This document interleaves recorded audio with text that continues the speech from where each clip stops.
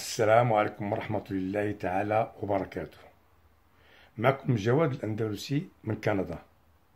لاعب سابق لفريق الرجاء البيضاوي وفريق الوداد البيضاوي وفريق الكوكب المراكشي وفريق الأولمبيك البيضاوي ولاعب محترف بنادي الشباب السعودي وفريق تونسينغ من هونغ كونغ.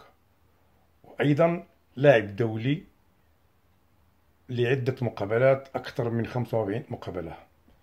من ناحية التتويجات فزت مع فريق الرجاء جوج الكؤوس العرش سنة 1974 وسنة 1977 ومع فريق الوداد سنة 1982 كان لي الشرف أنني فزت مع الفريق الوطني كأس إفريقيا للأمام سنة 1976 بإثيوبيا.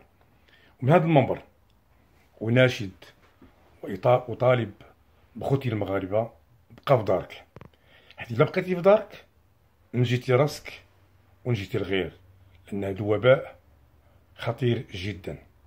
الله يخليكم وعافاكم بقاو في ديوركم.